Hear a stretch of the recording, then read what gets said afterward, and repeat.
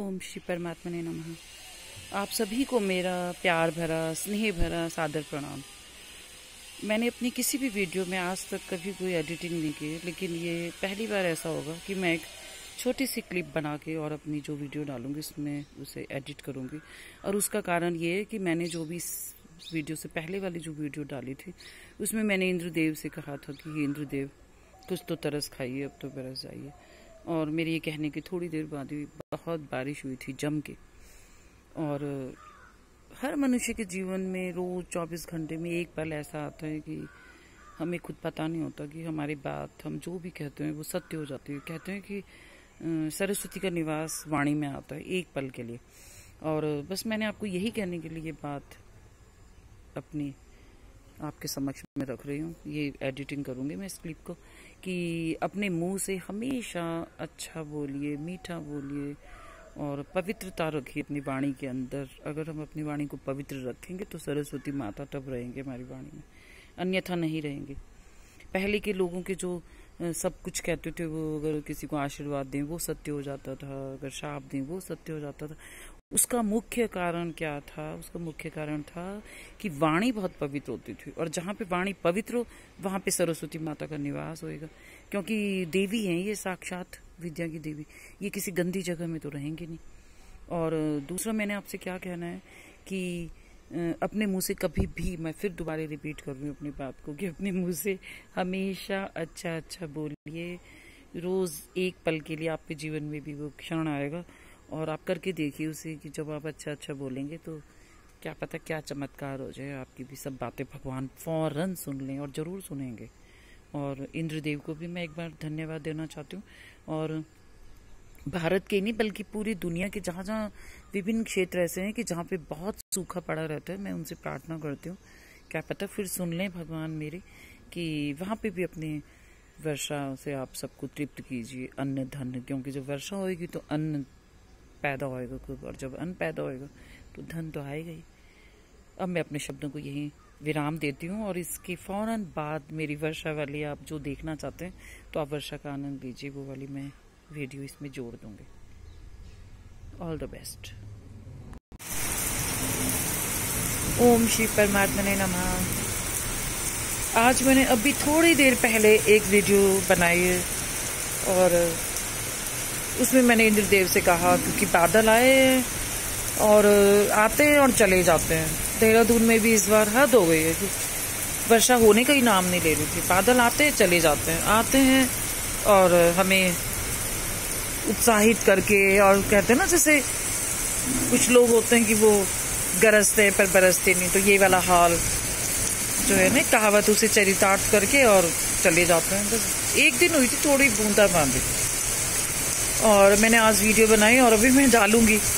आपको तभी यकीन आएगा, मैं अभी थोड़ी देर में उसे डालूँगी। चार्जिंग ख़त्म है क्योंकि फ़ोन में। और ये देखिए कितनी बारिश हो रही है।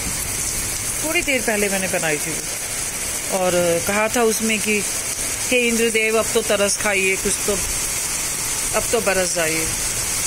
और वो मैंने कहा था, मेरे भाई साहब हैं, वो मुझे घर से भेजते हैं। जितनी भी वीडियोस भेजते हैं ना, थोड़ा इधर आती हूँ, मेरे ऊपर बारिश की बहुत पानी आ रही है। ये देखिए कितना बारिश पानी देखिए है। ना? तो वो मुझे जितनी वीडियोस भेजते ना यहाँ पोर्च के नीचे आ गई हूँ मैं और इधर बरामदा भी है तो बारिश में आएगी तो घर से भेजते हैं वो बना बना के फूलों की और उन्होंने भी, भी मुझे थोड़े दिनों पहले एक भेजे थे। और लिखा था उसने हे देव कुछ तो तरस खाइए अब तो बरस जाइए। लेकिन हो नहीं रही थी बारिश। और मैंने उस दिन रात को थोड़ी बूंदाबांदी हुई थी जो मैंने कहा था। तो लेकिन मैंने भाई साहब से पूछा तो कहने लगे, नहीं, यहाँ तो नहीं हुई। मैंने नहीं हमारे यहाँ तो हुई है बूंदाबांदी ये देखिए, कितना तूफ़ान आ रहा है। और मैंने अभी इंद्रदेव से कहा कि अब मत आप चले जाइएगा, क्योंकि बहुत घनेरे बादल थे तो मैंने कहा, अब मत जाइएगा, बरस की जाइए और ये देखिए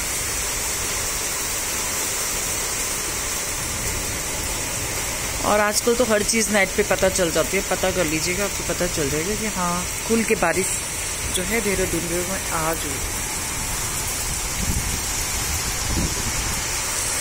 आहा, ऐसे मौसम में कैसे कैसे गाने याद आ रहे होंगे? एक तो वो है ना गरजत बरसत सावन वो गाना।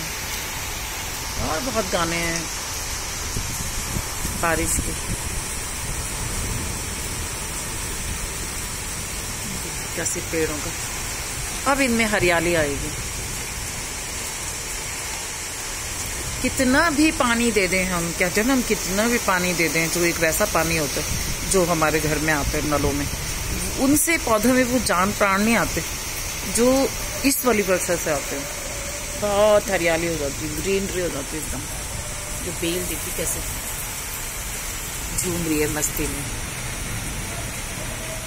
ये जो बेल है, ये वो है। ऐसी फ्लोरा की बेल है, ये जो मैंने बताई थी ना अपनी एक वीडियो में कृष्ण बेल भी कहते हैं। राखी जैसे फूल आते और इसमें जो फूल हैं, अभी आ चुके थे, लेकिन मैंने वीडियो नहीं बनाई थी। ये वर्षा के दिनों में इसमें बहुत अच्छे फूल आते हैं इस वाली बेल में। ये देखिए कितना खुश हो रही है। एक एक चीज़ें ऐसा लगता है जैसे बातें कर रहे हैं और कह रहे हो, ये देखिए बेल।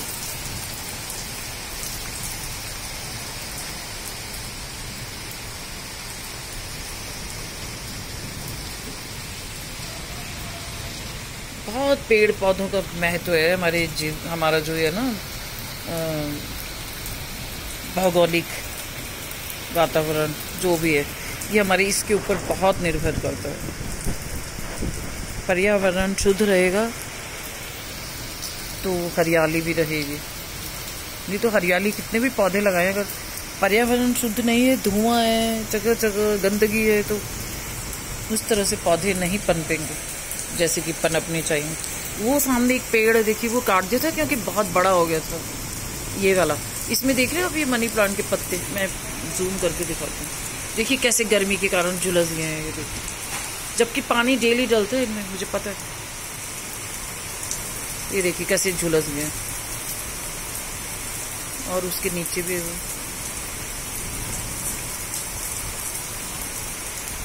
अब इनमें जो पानी बारिश का डला है तो अब देखिएगा। और आपको एक सलाह दूँ, जिनके घर में ये वाले पेड़ होते हैं, ये खजूर टाइप के पेड़ होते हैं, और इनका कुछ नहीं बनता, कोई फर्नीचर वगैरह कुछ नहीं बन सकता इनका। ये देखिए आप। इसके बारे में मैं बताऊँगी, मैंने इन्हें क्या सलाह दी है, इसका क्या करना है। उन्होंने इसका इस्तेमाल किया वो मैं आपको फिर कभी बताऊँगी। जो ध्यान से पूछेंगे मुझे तो बता देंगे। ये देखिए। हाँ मौसम ठंडा हो गया आज रजाई निकल जाएगी। देहरादून की क्षमा कीजिए यही तो खासियत है।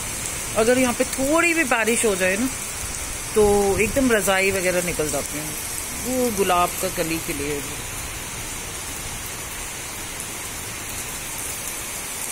वो देखो।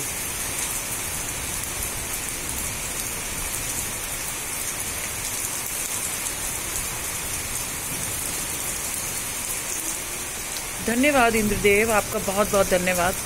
आप ऐसी कृपा करते रहिए और देहरादून में तो कर ही थी अपनी कृपा। जिन शहरों में वर्षा नहीं हो रही, उन्हें भी कर दीजिए जरा थोड़ी सी अपनी बौछार, है ना? सभी एक समान होते हैं, मनुष्य तो सब कैसे गर्मी से झुलस रहे इस समय। और कितना भी कर लें, वो ठंडे पे पदार्थ पी लें, कुछ ही कर लें। वो बात नहीं आती जो आपकी वर्षा से ठंडक आती है। देखिए, आज हमारी रजाई निकल जाएगी। मतलब पतली वाली, जयपुरी रजाई या फिर पतला सा एक कंबल। मैं ठिठुर रही हूँ इस समय क्योंकि मेरे पैरों में भी पानी गिर गया। मैं जूम करके भूल ही गई थी।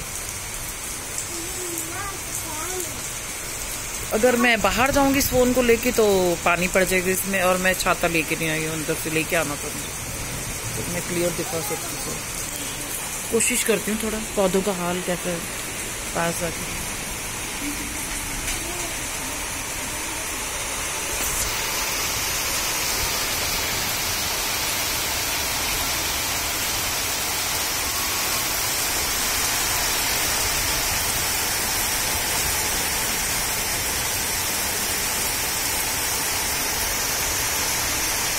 बादलों के ऊपर वर्षा के ऊपर बहुत पिक्चर्स बनी हैं, आप सबको पता ही है।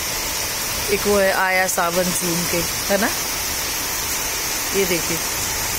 पेड़ देखिए कैसे खुश हो रहा है ये देखिए डालियाँ कैसे खुशी से झूम रही है। नृत्य कर रहे हैं जैसे पेड़। ये देखिए अमरूद का पेड़। कर रहे हैं ना नृत्य, देखिए। स्लो उसमें कर रहे हैं। ये ये देखिए जैसे अमरूद का पेड़ का नृत्य कैसा हो रहा है, जैसे वो लाइट म्यूज़िक चल रहा हो और धीरे धीरे जो करते हैं स्लो अच्छा सा लाइट सा म्यूज़िक और धीरे धीरे नृत्य कर रहा हूँ। कपल डांस भी करते हैं धीरे धीरे ये देखिए शाखाएँ कर रही हैं ऐसे नृत्य।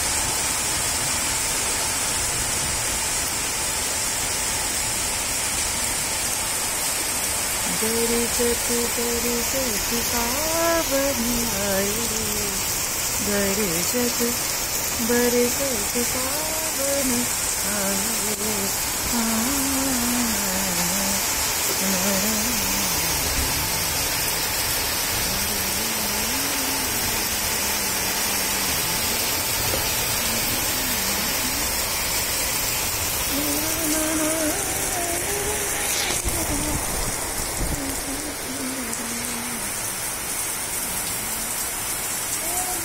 अब मैं अपने शब्दों को सोच रही कि यहीं विराम दूँ और फिर मैं मिलूँगी आपसे कोई नई बात लेकर।